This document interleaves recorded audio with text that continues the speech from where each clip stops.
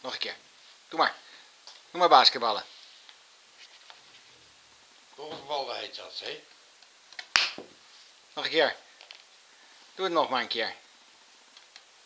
Goed zo. Nog een keer, champ. Doe maar erin.